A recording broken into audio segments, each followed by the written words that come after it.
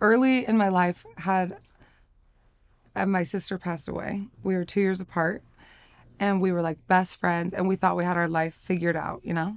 And she was like a dreamer and a doer and just like she was gonna do it all.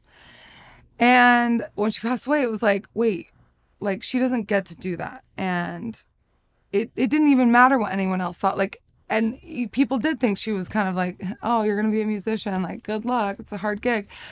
And, you know, she was still going after it. She was like, she, in her journal, it was like 100 things I want to do before I'm going to die. Like, play in front of this many people, like, affect this many people with one song. Like, she had all these dreams.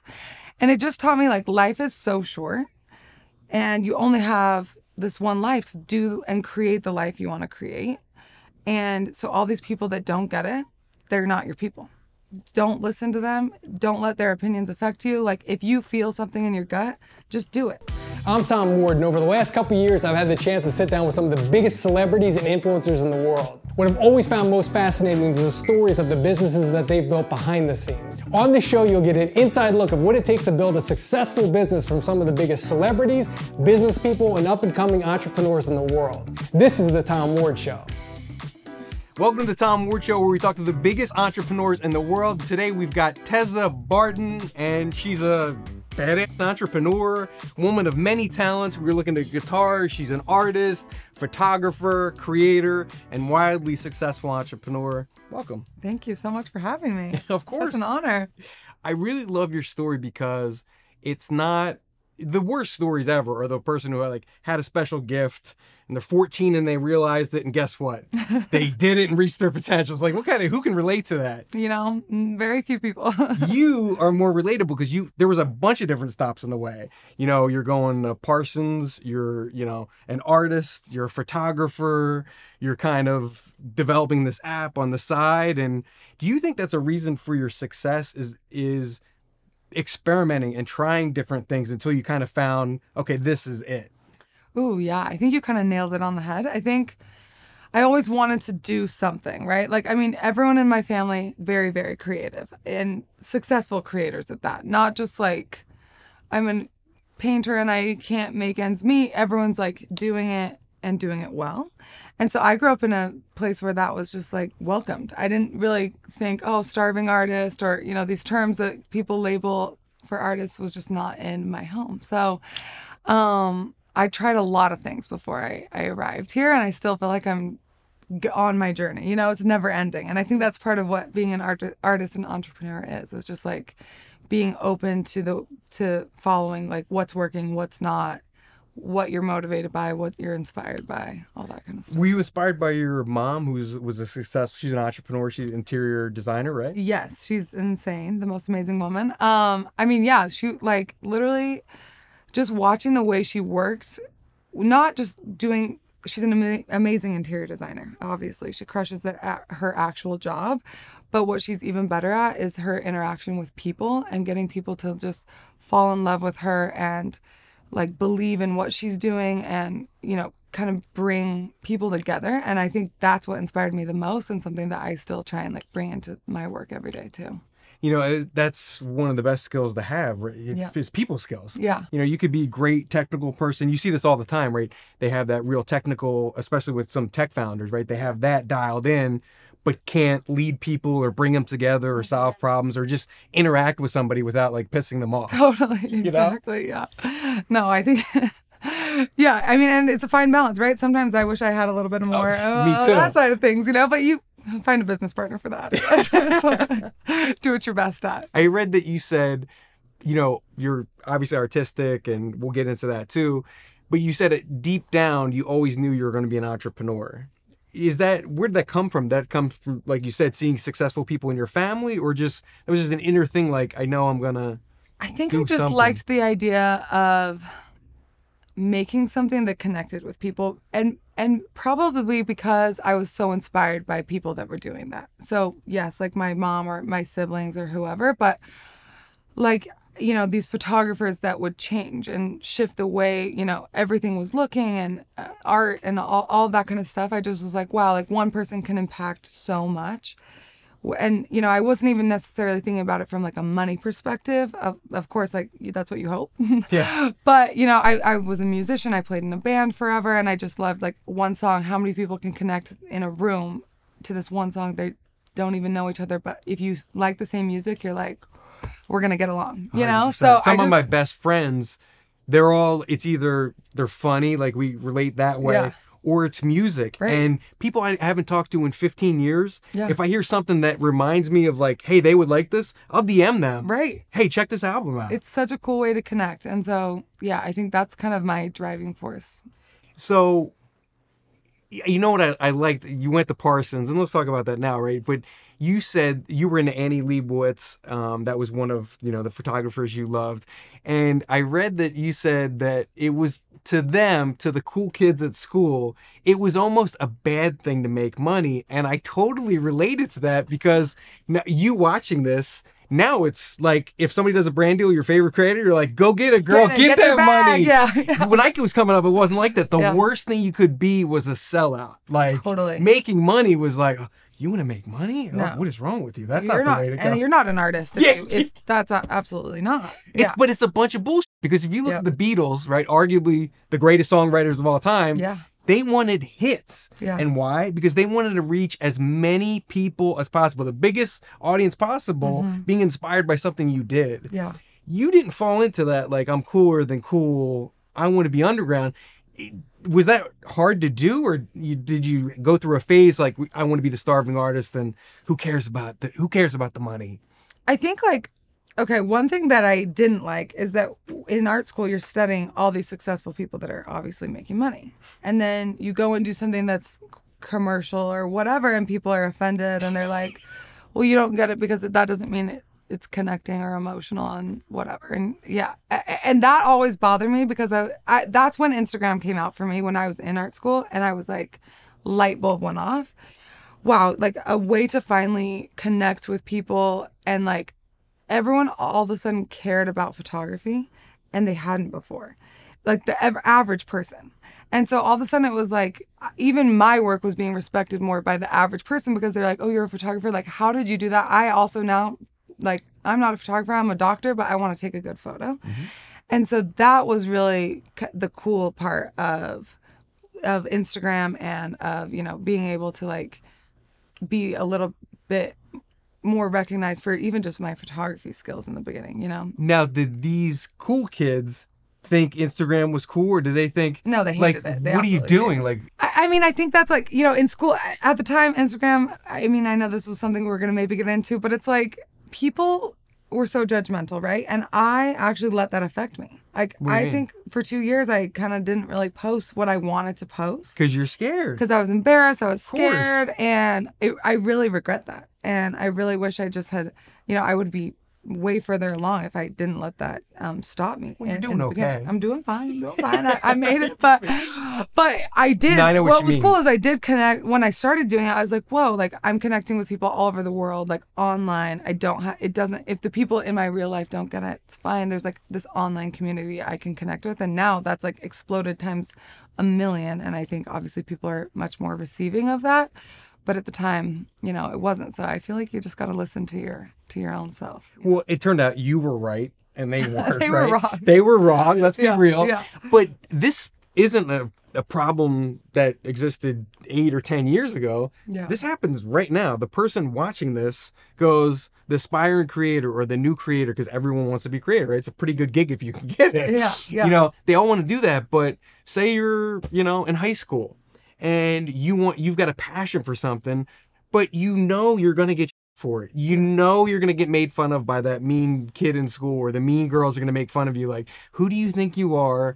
No, do you think you're better than us? No one cares about what you had for lunch today or Yeah. or about your picture or about whatever your ukulele playing whatever your thing is." Yeah, yeah, Do you have advice for them or like how do you yeah. push forward knowing you're going to get it? it's I think not to get deep, but we're gonna Get get, deep. We're Let's gonna get a little deep. But like I um early in my life had uh, my sister passed away. We were two years apart and we were like best friends and we thought we had our life figured out, you know? And she was like a dreamer and a doer and just like she was gonna do it all. And when she passed away, it was like, wait, like she doesn't get to do that. And it, it didn't even matter what anyone else thought. Like, and people did think she was kind of like, oh, you're going to be a musician. Like, good luck. It's a hard gig. And, you know, she was still going after it. She was like, she, in her journal, was like 100 things I want to do before I'm going to die. Like, play in front of this many people, like, uh, affect this many people with one song. Like, she had all these dreams. And it just taught me, like, life is so short and you only have this one life to do and create the life you want to create. And so all these people that don't get it, they're not your people. Don't listen to them. Don't let their opinions affect you. Like if you feel something in your gut, just do it. And like simplify it down and just ignore the stupid noise. I know it's hard when you're young and like it it feels like these op- opinions of people matter, but they're just projecting their own crap onto you and like your opinion is all that matters. when she passed away, so you're she's 17, you're 19, right? So did all those journals and all those dreams of her put additional pressure on you? Did you kind of take some of that on and go, she wanted this. I'm gonna go, eh, you know, after music extra hard now. I'm not gonna let those dreams Oh die. yeah, yeah. Is that did you kind of have that attitude? For sure. It definitely like it changed my whole I mean, yeah, I think it just like one I I realized, oh, you know, I I only have so much time. I got to get all this stuff done. That's how it felt like I was just like had a big list. Either it puts you in a dark space or you're kind of motivated by, you know, what's in front of you. And so just taking advantage of every single moment is like the way I live my life now. And did that did you ever look back? You know, when you get those trolls and hate and we all get it. Yeah. And I'm I'm old as and it still bugs me when I get that troll making a mean comment. Oh. I hate your face. That necklace looks stupid. Whatever the f- it is. It's like one comment one out of comment. I don't care if it's a hundred good comments. Yeah, it's like what the Focus. fuck, right? But but did that really help you kind of just focus on what's important and kind of because when you're a normal 19 year old, I mean, I remember when I was 19, I didn't, you know, I had all the time in the world. There was no rush. Yeah. I was gonna figure it out. Yeah. You know, whenever I'll do it tomorrow. I'll do it tomorrow. Right, right. But you didn't look at things anymore. Like when, what was your immediate focus? Was it music at the time? It was music. It was. I just felt like I had to give it a shot. I was really kind of a background in her music. I was I mean we we did it together, but she was the star. And it pushed me to just be like out of my comfort zone like okay, like I'm going to do this for her, you know? This is going to like and and I made my brothers join the band. Like it was a whole situation. It's like a Partridge Family I'm like, we're doing this, and you know what? We played in a band for six years, and it was good. Like, That's awesome. it sounds cute, family band, whatever. Yeah. But like, we had a moment. We had a moment. Um, but it, yeah, and then that made me also just realize, like, when I kind of realized, okay, maybe music isn't getting me to where I want to go. I want to try something else. Like, I'm gonna. like I'm never gonna be the great artist. Yes, like I love performing, but like, do I really want to like do this hustle and do this thing? I want to like be able to connect with even more people, and I have more. You know, I really wanted to like start a magazine or something at the time. So I was like, I, I got to move to New York. I'm going to do something else. Mm-hmm. But like, I still had that same like fire, you know, mm-hmm. for, and following my dreams. And two, you had some great inspiration. I'm a music nut, and I you said that like Janis Joplin and Joan Jett like Oh, yeah. were my girls, and they're if if you don't know who they are, shame on you. Go look them up. One, insert Michael. More- Insert picture here of Yeah. them. But you know they were bad women in a time where you know a lot of women weren't that outspoken or kind of out there fashion wise and stuff like did fashion was a big thing with you too right did you take some of that is that part of the whole scene that you like too Yes, like I, I think that's and you nailed it on the head. I think I just, as a kid, was looking at these women like they don't care at all what anybody thinks. They're just doing their and they're up there just crushing it on stage. The confidence, like their outfits, everything, like the whole vision. And that's oh, like I can't even. It's too much to talk about. It's too much Why? fashion. I just love it so Yeah, much. But I, I think that's really like Who were your girls? Talk about them. Who I were mean- who were the ones for you? Who were your guys? I mean, yeah, like I mean, Janis Joplin. I but just the way she just the rawness and the voice. realness of her voice, like I can't really even. Oh, and yeah, I mean, Joan Jett style wise, I was like the rock and roll vibes. I mean, I was even into like Led Zeppelin. I mean, Oh, I think yeah. you know, kind of crossing like these boundaries and connecting with people in like, I don't know, music and fashion. That's really where I found like goes so a marriage. it goes together. Yeah. Yeah, I interviewed John Varvatos, the men's fashion designer. I oh, mean, amazing. he built a whole brand around that, right? Rock and roll, and Yeah. and it was great. He was telling me like, I got to meet Jimmy Page. Like Jimmy Page calls me now. Like, could you imagine? He's like, I'm No. just a kid from Detroit cannot. who like clothes, and all of Oh. a sudden, like Jimmy Pages, we're just like shooting this like mind blown. Mind blown. Oh my gosh. Yeah, that's that's everything. I gotta I gotta switch careers. No, just so, so you got music, and you're like, okay, love it. I'm passionate about it. I like a lot of things about it, but I don't think it's going to take me to where I need to go.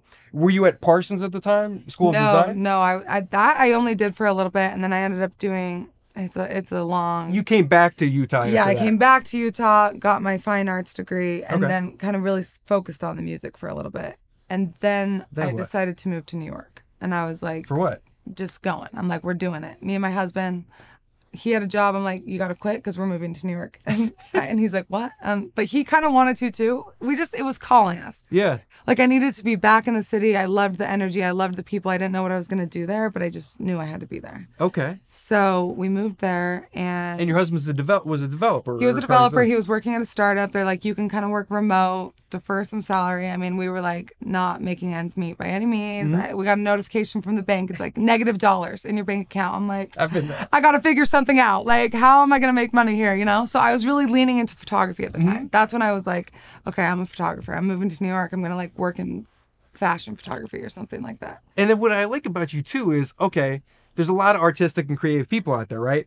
But the thing that's up that you have that let's be honest, most of them don't, is you have the hustle and the drive too.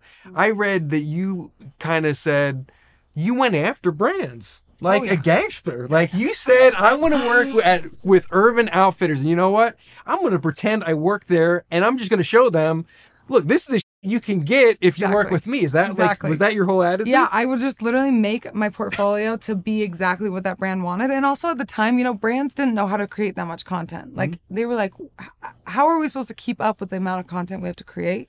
And I'm like, I got you. Let me show you. And I think that's like the key. Like if you want to work with a brand as an influencer or as a photographer or whatever it is, like just act like they've already hired you and show them wh- what value you're going to provide. And you know it'll be like a light bulb. They're just people like us behind the brands trying to like figure it out and everyone's looking for new creative new ways to think about something. So you just gotta fake it till you make it. Well, see, now it's a proven career path. I mean, Yeah, you've seen true. influencers and creators do it. The person watching this goes, "Yeah, of course, see, that's what you do." You know? Right, yeah. But for you, there was no roadmap. There was Yeah. no, you know, successful influencer that's been doing it for five years previously, and you kind of copy, you know, some of the things they did. Yeah. You just kind of had to figure it out yourself. Um, yeah where'd that come from? You just kind of had the goal and figured out, you know, reverse engineered how to get there. Yeah, I think I just always knew I was gonna make it work. Somehow I was gonna. I, I remember like I watched the Annie Leibovitz documentary and I wrote myself like a, in my journal. I'm like, one day people will remember me for my work like Annie Leibovitz, and I like signed it in like art school, just like so cheesy, but I I like meant that, you know, and I just Well, pause on that real quick. Because that's such an outlandish statement, right? you know, let's be Oh, real. I At know. the time, for you, I mean, you now that makes sense. Like, of course, people know who she is, wildly successful entrepreneur, right? But at the time, this, you know, girl writing that, of course, you're not going to be as good as Annie Leibovitz. Yeah. But I've interviewed a ton of entrepreneurs and creative people, and every single one of them have had that. And I've, they've told me, like, you almost have to be delusional Yes. because there there is no evidence to this statement I just made. Yeah. Annie Leibovitz is one of the she's Hall of Famer, one of the greats to ever do it, and somehow I just think like, of course I'll be as big as her. Yeah, Like, yeah. where do you? Is that something you're just born with, or where does that confidence come that's from? so. I've never really even like stopped to think about that. Which is why you have it. I guess, yeah. I'm like, I, I I think I watched people do it, and I, I liked that. What it, you know, I thought, oh, I like the way that seems like it would feel, or the way they're making people feel. Like back to my mom, it's she just, she has that like star power, and it's like she just walks into a room and people are like, I just I'll do whatever you tell me to do. I don't know, like eh, she just has it, and I, I just love people that bring that joy out of people. Like even just talking to you, it's like you can just tell you're passionate. You have this like I want to be energy, here. and people like Yeah. want to absorb it. And so I think you know you're just gonna do what you're gonna do because you love it. And so I think it's actually more than that, it's just having the passion, like figuring out what you like. And I think if you're young and you're like, I don't know what I like, I like a lot of stuff. Yep. My advice is like, try everything. Just start trying stuff. Like, I thought I wanted to be a fashion designer. So I was digging into that. I was learning how to sew. I put on fashion shows and then I took photos of the stuff I made. And then I realized, oh my gosh, like, I can tell such a bigger story about the clothes through just one picture. Like, I really love the storytelling aspect of photography. So I'm going to lean into photography. And then, you know, I thought, oh, I want to start a magazine because I love words and and images and music and makeup and all this and like I can tell I can bring a world together in like a magazine. I mean, this is when magazines were still relevant. remember. And uh, you know, so it's like I think just start trying things. Like you, it will teach you what you're good at and what you're bad at, and those are and those are like little things that help you get to where you're going. Yeah. So I think it's great advice. And that's why I said at the beginning of this interview, that's why I like your story because it wasn't, you're not LeBron James. You didn't, not. you didn't know at 12 years old and everyone in the gym knew you're going to go to the NBA. And it's like as clear as day to everybody who's there watching, right? Yours wasn't like that. Yours was like trying different things. And I think that is the secret because every startup founder I've talked to, none of them n- the companies never ended up as it was in the beginning. They pivoted a million times, Million times. until they got it right. And then creators and stuff too did the same thing in their personal selves Yeah. or brand. Yeah. I'm going to start out creating this kind of content. Okay, this doesn't work. Travel vlogs, and Yeah. I'm going to start doing beauty stuff, and then you just kind of And it's the, the same goes for starting a brand, right? Go on. Because it's, I think like you have a personal brand or you're doing this or whatever, but it's like when you're like, I need business or, you know, I want to start a business. What do I do? yes, that's a great question. And you're like, what do you do? uh, I, and my biggest advice is like, just start because everyone has ideas. Everyone wants to start a business. Like that's like, but all like that first step will take you to step two, step three, step four. It's like you call, you call, you call till you get one answer. Mm-hmm. That one answer will be like, yep, we can make your product. Then you're like, cool. Well, I guess I have to tell them what I want to make. And then, you know, it's like, it's just that little, it's the baby steps Yep. that get you there. And sometimes not even worrying about the end goal. Obviously, you have an end goal, but just like focus on the small things. And those are things you can accomplish every day and you'll get started. Speaking of small things, community. I've talked about community. These guys are probably tired of hearing about community. You can't see them right now, but it's the hot buzzword now. Yeah. And I really am impressed with kind of your whole attitude towards Instagram from the beginning. You said, and I'm probably going to misquote this, but it was basically focus on a small amount of people and provide value to them and really deliver and guess what they'll do the work for you Yeah. they're going to tell your friends hey check this out she just you know Tezza just dm'd me or she got on a zoom call with me and asked what i thought about the content or whatever and Yeah. it kind of grew from there Yeah. was that you didn't take it sounds like the narcissistic approach let's be real a lot of us take like i'm the most interesting person in the world of course people would want to see what i had for lunch today or my outfit of the day I wish that was all I had to do, you know, unfortunately. No. no you had to work Um, but yeah. how, how did you have that strategy from the beginning it wasn't laid out there was no roadmap I think that, you know, I, so when I started taking Instagram seriously, you know, I had been doing blogging and Tumblr and uh, Pinterest. I, I was on every platform from the day I could be. I, I knew there was something there that I liked and I couldn't quite figure it out. I, and I wasn't successful at it by any means till t- 10 years later. So it was a lot of years of doing something that no one cared about. But, um, when I decided, okay, I'm going to take Instagram seriously, I know I have something here. I'm trying to figure out what it is. And it's my number one kind of mindset has always been what are you giving? And you know, because a lot of there's a lot of like people talking about what they have or what they're get like all the stuff that they're doing or this or that, but it's like what value are you giving, right? but hold audience? on a sec Th- there's a lot of people doing that who are massively successful Yeah. and that's what's kind of annoying it's like but I don't have great abs, or I'm not, you know, I don't look Yeah. great in a mini skirt. I can't, that can't be my only thing. I Right. just don't have that to give. Right. And I think the difference is like that's a that's a career path. It for is, sure. for Go do it, get your bag, whatever. but it's more if for the community aspect. Yeah. I think if you focus on kind of back to what you were saying, like what you're giving. So like the second I decided I'm a photographer, I've worked all these years to like create my special sauce and have my look. And the second I said, here you go, you can have it too. Edit just like me. I mean, the that people were like, uh, okay. Like as artists, I think sometimes you get like protective, right, of, Of what you course. built as you should. But at the same time, the more you share, the more you're gonna grow as an artist, as a person, and you're gonna be able to evolve and do it with the people that you know are also believing in the same thing that you're believing in and so you know i was doing that just as on a personal level but then the second that we kind of started the brand that's always also been at the you know the core value of, of our brand and why we exist today So that's why. So what what were you giving before the brand? So you're on Instagram. You're taking it serious now. What are you giving? What was your thing? I all about Photography? creativity, photography, how to pose better, how to take better Okay. images. Let me tell you what kind of camera to use. Let me tell you what lens. I started selling Lightroom presets before that was a thing. So, you know, I was like, okay, like here it is. Everyone take it. And then everyone was like, this is so cool. The serious photographer was like, love it. But the average person was like, can't use that and I don't want to go edit on my computer. Mm-hmm. And so that was a light bulb of like, oh, we should build an app because, you know, one, there wasn't really an app out there at the time coming from this creator's perspective. Everything was, you know, very tech based and probably built in a by a bunch of dudes. Sorry. Um, which is fine, which is fine. We're not all bad. No, you're great. Hey, like I have my husband's on my team, so I support the men. But I know what you're, I know what you're saying. um, but Let's yeah, say a bunch of engineers. a bunch of engineers. There you go. You're gorgeous. We love you. We yeah. So anyway, I'm, I'm sorry. I'm sorry. I just messed it around. but no, we just kind of saw that there was just an opportunity there, and so we we wanted we already had the community of people interested, so that was really where you know when we were able to actually build the app and um, put it out, we had immediate success just because we had been cultivating this community of people super interested in art, creativity, taking better images, all of that.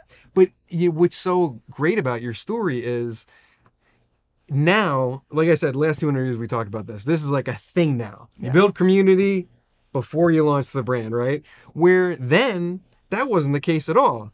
You launch the product first, Right. then you figure out the community. Who's buying it? Who are they? I don't know. Yeah, Let's, we'll yeah. figure it out. Get we'll the data as, We'll get the the data. start working or yeah, whatever. where works right. doesn't, you know. So Yeah. that was a different approach than what was out there. Is that just go back to there was it wasn't calculated or anything? It was just your whole philosophy of just like giving. Yeah, I think when I look at okay, like if we're gonna just get down to the nitty gritty of it, Sure. okay, when I was started growing on Instagram, gaining followers, having a community of people that were like, I'm gonna click the follow mm-hmm. button, it was because every day I was like providing more and more information and I was like giving them something to come back to and believe in and then go tell their friends about, right? And be like, this is I I was willing to share my thing, so they started being I'm not that's bad grammar No, like advocates. they began sharing what they like to do as creators, right? Okay. So it it made the creative space like open and inviting. And I think going back to kind of um the beginning of my story, just growing up in a family where being creative was like awesome, everyone could do it. And then I grew up and I realized like no one grows up like that. Everyone like It's like go get a real job. yeah, that's like how that's people cute, grow up. but mm, yes. I was like, no, like everyone is artistic, and I hated hearing when people say, "Oh, I'm not artistic, I'm not creative." I'm like, yes, you are. Like, it's much more simple than that, and I really do believe that, and so that kind of became, you know, my mission, and I think people really connected with that. So you got the idea. Now you're in New York. Luckily, your husband's a developer, so you don't have to pay an engineer tens and Really hundreds out on that thousand one. dollars. Yeah, really that was a good out on move on your part, right? Yeah, yeah. Um, so you have this idea. Now you were working at this thing for like a year and a half, Yeah. Mm-hmm. I think, behind the scenes, side hustle, and you're doing photography at this time to, yeah, to I'm make doing ends meet. photography, kind of influencing some stuff. Mm-hmm. Um, and my husband was working at a startup still, even into like a year after we launched the app. He still worked at the other startup. You know, that's a good lesson. I think a lot of people think, I guess side hustle's kind of a thing now. Well, it is a thing. Yeah, But I think a lot of people still have in their heads where it's all or nothing. yeah, I have to quit my job. I have to drop out of school to do this for real. yeah. Where I think you prove, no, you don't. No, You still got to pay the bills. you still gotta pay the bills. And I think just like getting yourself to be pushed to the limit of like, okay, I've done all I can do here. I'm like, I, it's ready for me to like give it all I have. Like, not that you shouldn't believe in your idea from the beginning, because you definitely should, and no one else is going to believe in it for you until you believe in it. But I do think, you know, sometimes it just, I mean, we couldn't have lived in New York and had the like lifestyle we did if we weren't doing everything all at once, mm-hmm. you know? And so, and we were talking about it the other day because I was like, how did we do it? Like, how did we do all we were doing, travel, do everything, build the app, have, like, I'm kind of confused. Like, we didn't sleep. Yeah. And I'm like, I think it's just, you have to be, you know, you're going to have those years of just like Grind. grind, grind. Like, and not that I'm still, I'm not still grinding because I am, trust me, but it, it takes a lot to launch something like that you're, and be able to also have a side hustle. So, What did it look like you launch? You said it was immediate success. What did that look like? I mean, I mean, immediate How many success, I downloads? guess What that's did like, success look like at the that's, you know, yeah. I think we had a million downloads within the first year. wow. um which just i think we didn't we honestly weren't like we're starting this bad business we're gonna crush it we're gonna be competing with all these other apps like we just did it because we, we were almost forced to do it. The community was like we need this like help make it easier. And we were like okay like Yeah. we're gonna do it we're trying.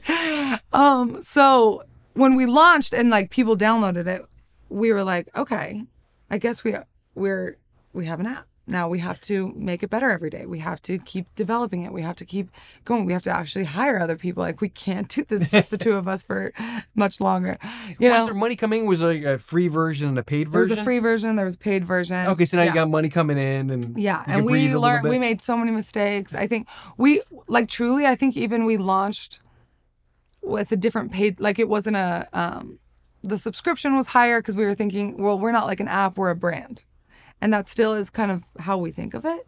Um, like we're not a tech company, but we're just like this brand. And so we were kind of going to be offering different things, and people were so upset because you know people don't think you have to pay for an app for some reason. not. That's No. still. Yeah. I'm like, wait, like I don't understand.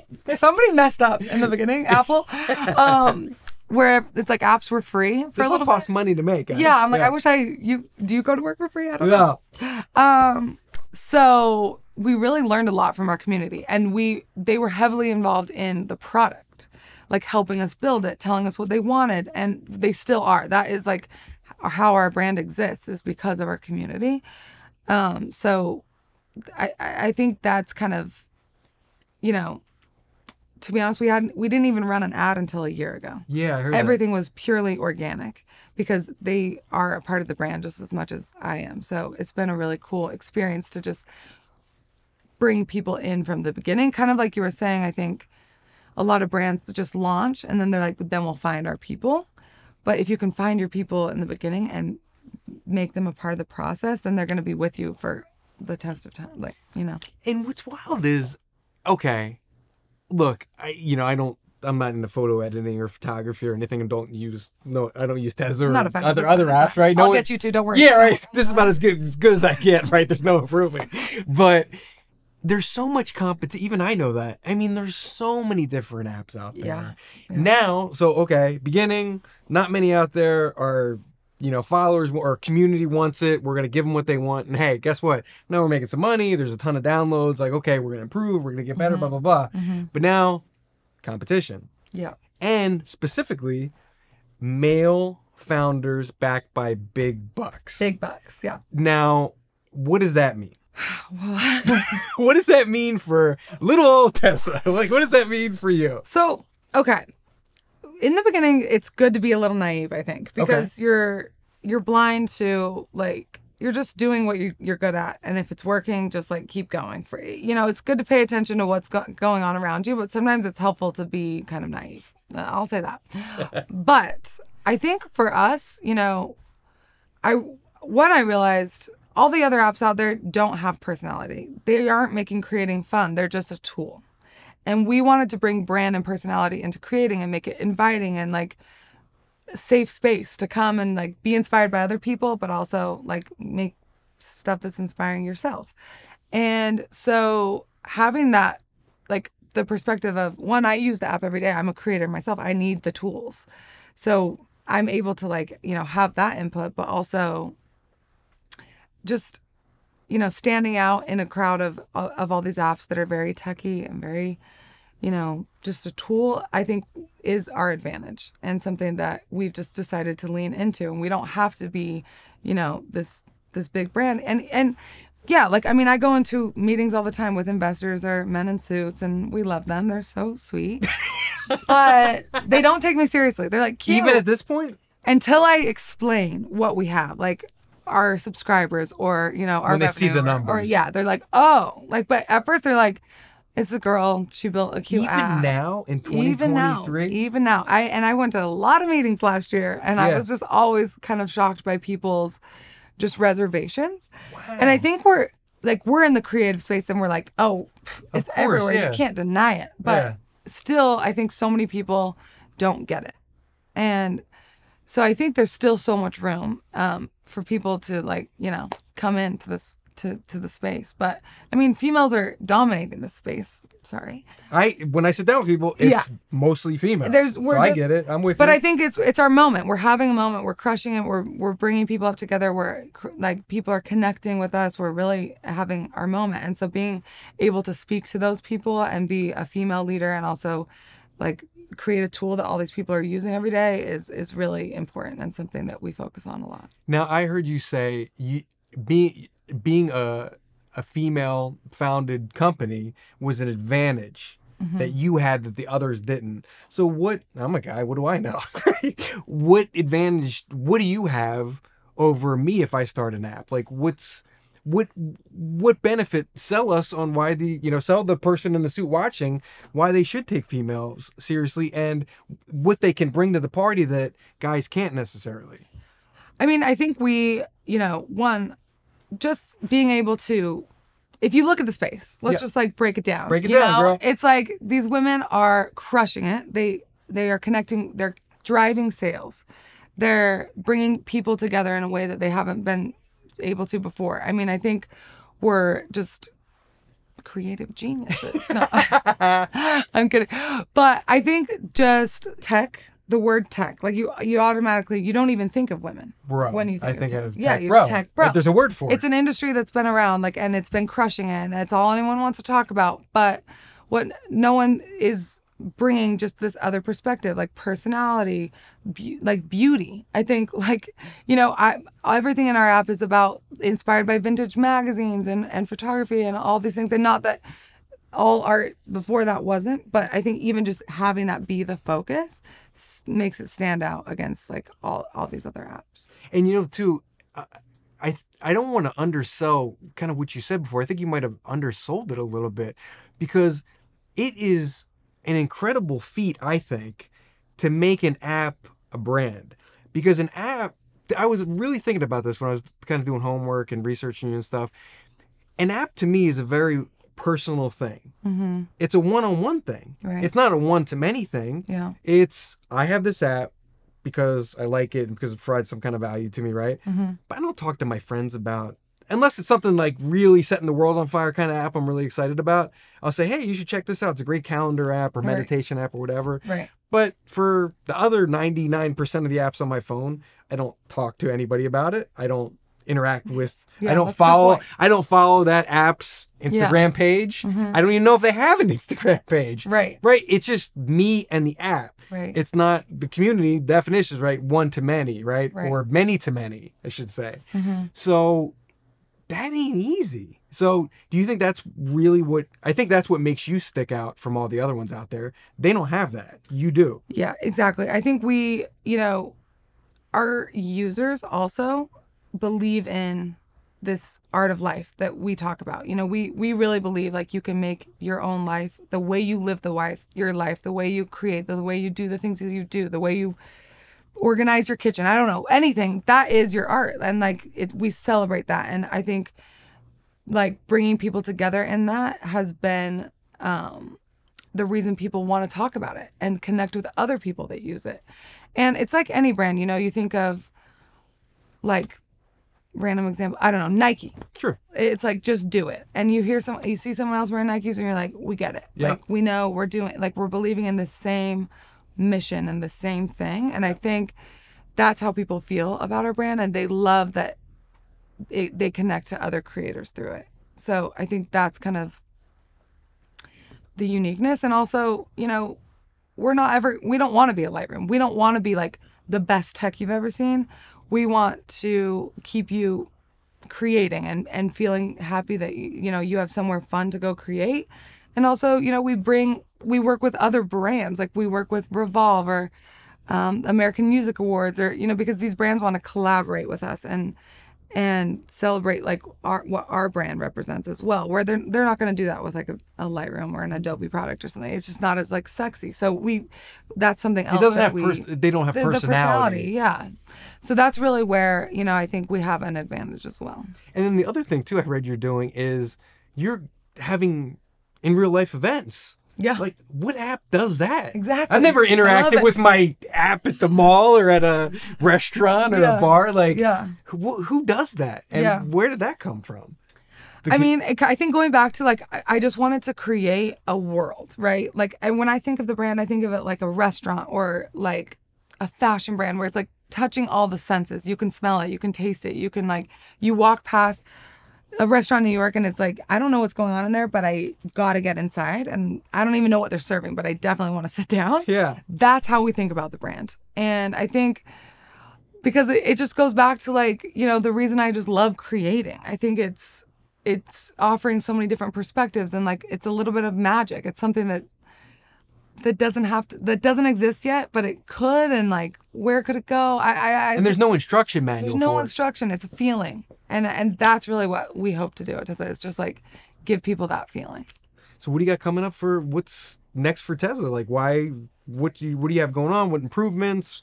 You so know, many improvements. talk about what's going on with it. Um, no, Promote we're really focusing on video. So Well, so much is, coming. of Yes. course.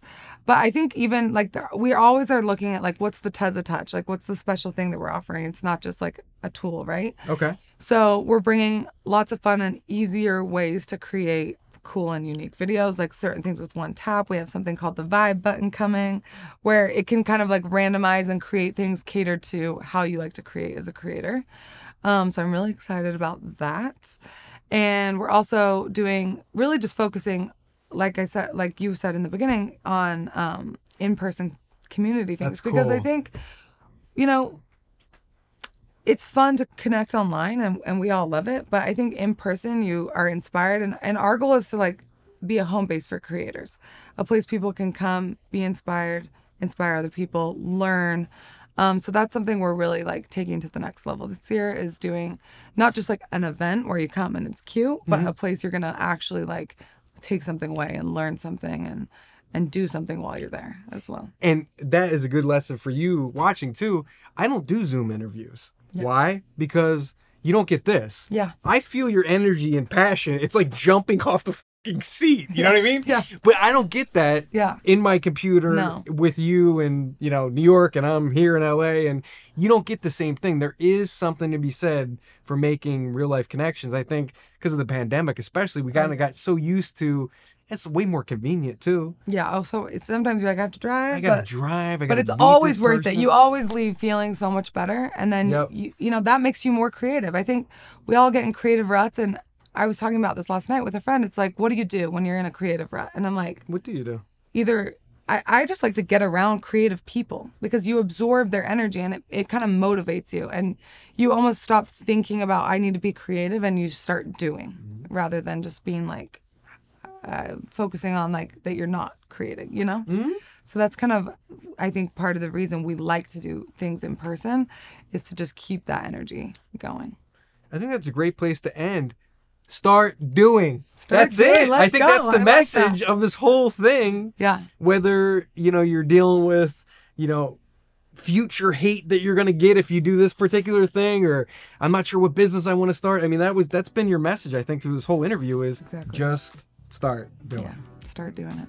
Well, thank you so much. This is a Oh real gosh, pleasure. I had so much fun. You're awesome. Thank you so much for watching. Hopefully you like this. Subscribe and turn on notifications for new interviews every Tuesday morning at 10 a.m. Pacific Standard Time.